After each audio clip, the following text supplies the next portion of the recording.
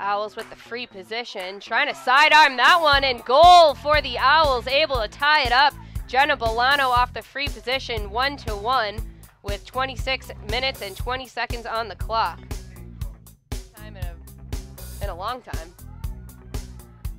We'll see how they work their offense. Uh, I'm going to guess Tufts is one of the best defensive teams in the country. Keeps they already able to get a goal, but we'll see if they can get another one.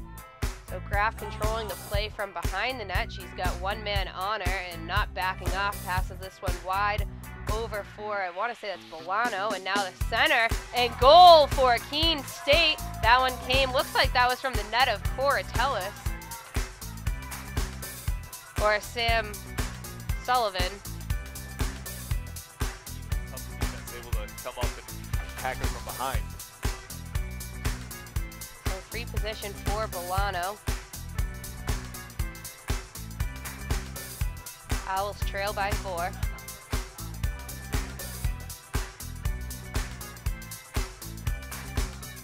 And Bolano softly passes this one to her left over for Ballard and into the corner for Taylor Graff. And she sneaks this one right in and bounces it off the ground for the corner.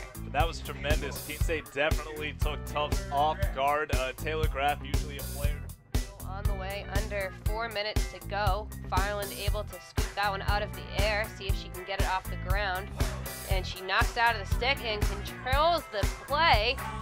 On a powerful mission there is Farland and shies away to her left to let the offense catch up. Really important, important play there for Farland. That's the speed that we're used to seeing Taylor Farland right there. There she looked like the fastest player on the field. Absolutely. She's an incredible athlete when she chooses to. Sometimes when she gets in her own head and kind of just like lets the ball go by, I get really frustrated. When I see her play like that, it's just absolutely incredible to watch. She, just shifted it into another gear right there. She's saying, I don't want this lead to get any bigger. I'll come back. Goal for Keene State. And that one's going to come off, I believe that was coming off a free position. Yep. And that one goes for Jenna Bolano. That's going to be her second for today. We'll give him right back to Makar. Mankar with the hustle, usually uh, all the way back on defense, coming across the midfield line. We've seen that recently by Makar. She plays almost like a midfielder. Goal there for the Owls. I want to say that was Farland. Gets the goal there, starting to pick it up, and that's what I like to see from her. Yeah. Different than Ardro. I think Ardro is like 5'2". So Anna Bryan stands at 5'8". She's from Winchester, Mass. And as I mentioned, she's a freshman, so nice to see that she's in the game now today.